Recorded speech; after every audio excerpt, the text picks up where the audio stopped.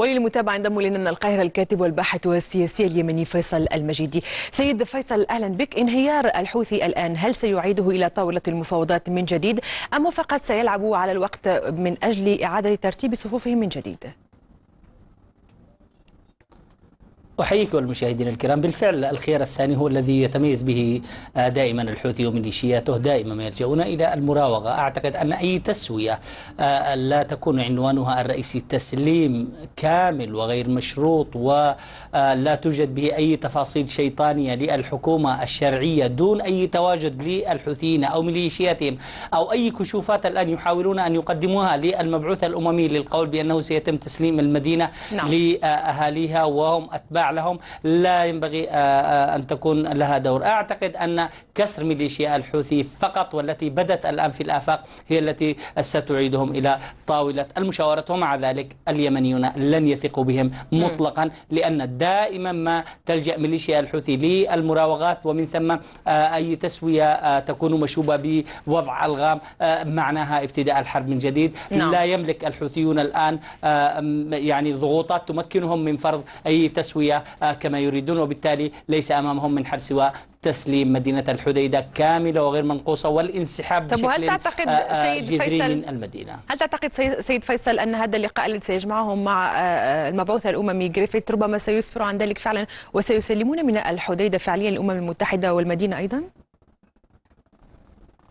دعني أعطيك معلومة آه، في 31 مايو آه، الماضي آه، قدم المبعوث الأممي مقترحا من أربع نقاط مبتدأه تسليم المدينة لمراقبين ثم الانسحاب الميليشياوي الكامل من المدينة وأن تستلم المدينة والميناء قوات من الداخلية اليمنية وأن تكون إرادته الإيرادات الميناء تصل إلى البنك المركزي فرع الحديدة التي يشرف نعم. عليها آه، تشرف عليها الحكومة الشرعية. الآن فشل المبعوث الأممي في إقناع ميليشيا الحوثي بذلك. آه، اليوم آه، أعطيت له 48 ساعة فقط لمحاولة إقناع ميليشيا الحوثي. لكن الحكومة اليمنية الآن لا يمكن أن تقبل بتسوية قد تجاوزها الزمن. ربما الآن كما قلت لك التسوية إن نعم. تمت فهي الانسحاب الكامل لأن الأوضاع الميدانية تجاوزت أي مقترحات قديمة للمبعوث الأممي وبالتالي لا يمكن القبول بأي تواجد لميليشيا الحوثي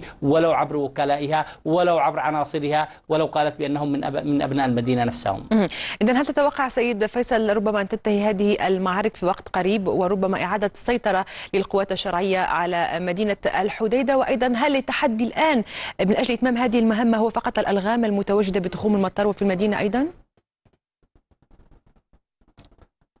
بالضبط التحدي الأكبر أمام قوات الشرعية أمرين اثنين. أولا إزالة هذه الألغام بحيث أنها لا تلحق بالأفراد ولا بالمواطنين ولا الضحايا المدنيين. الأذى الأمر الآخر أن هي الخطة التي وضعتها قيادة التحالف آه، تحديدا السعودية والإمارة العربية آه، وهي بالحرب النظيفة التي تجنب المدنيين الضحايا. الحوثيون الآن يلجؤون إلى قصف المناطق آه، للأسف الشديد التي يتواجد فيها المدنيون. على وضع المعدات حياتهم في الأماكن آه، في الأحياء المدنية في أسطح المنازل في القيام ربما بتهديد لصهاريج البترول والبنزين المتواجدة حول الميناء وحول المطار آه، لإحداث أكبر قدر من الضحايا لكن الآن كما تلاحظين آه، هناك تقدم مدروس وخطط مبنية على معلومات استخباراتية نعم. تم جمعها تقريبا خلال ما يقارب ثلاثة أشهر من العمليات الاستخباراتية وبالتالي. عمليا المطار ساقط الآن على الأقل عسكر ناري ناريا وكذلك المدينة الآن